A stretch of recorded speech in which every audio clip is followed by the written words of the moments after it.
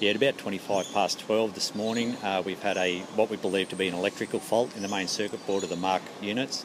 This has actually exploded, creating a fire to go up to the conduit, electrical conduit. And it's gone through um, four levels. The main fires then hit Shooters nightclub, um, eventually resulting in the ceiling collapsing at the front entry. Wow. Yeah.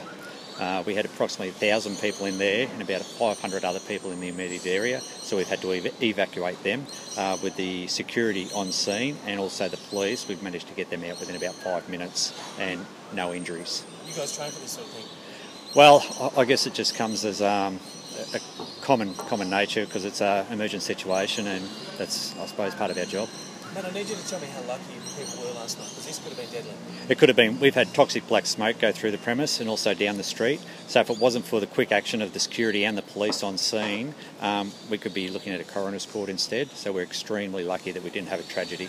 Can you tell me about the panic? There would have been a bit of that. Um, there wasn't a- actually initial panic because we, we didn't have the uh, fire per se. That actually came later on, and uh, people just came out and they were cheering and probably weren't really aware of what was going on because there were so many.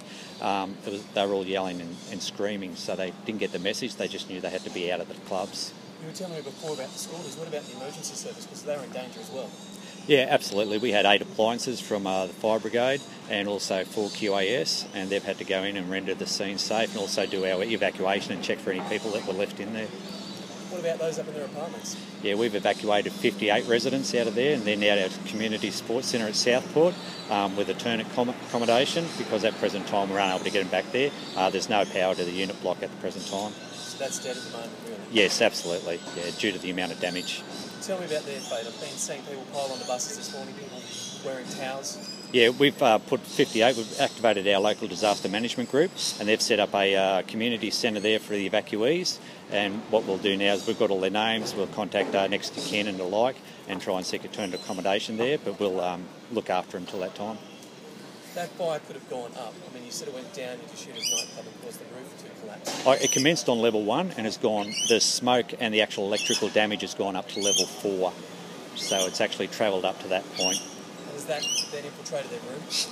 Uh, we were lucky. Anything above level five had minimal smoke damage, but everything below it was just a thick toxic smoke.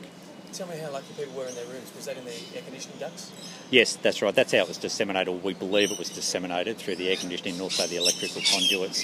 So um, we had a number of schoolies in there as well, and they were all evacuated, and they've been placed at an alternate accommodation as well. So we're just extremely lucky that there's been no injury or deaths. I get the feeling that if this was overseas, perhaps Phuket, Thailand, somewhere, we could have been looking at mass fatalities. Yeah, it could have been, but um, we're, we're quite lucky here.